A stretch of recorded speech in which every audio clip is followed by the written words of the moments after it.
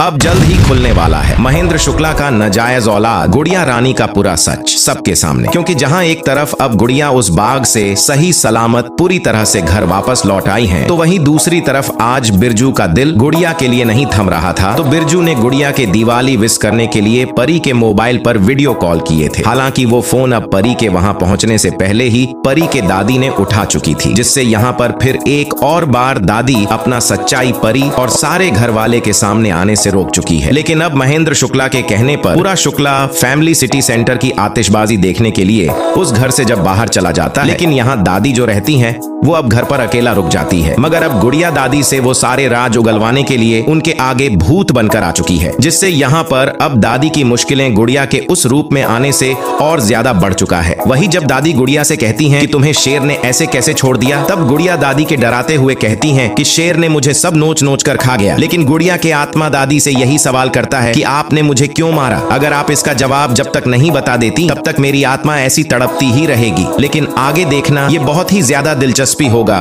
कि अब गुड़िया दादी से वो अपना पूरा सच कब तक हासिल कर रही है।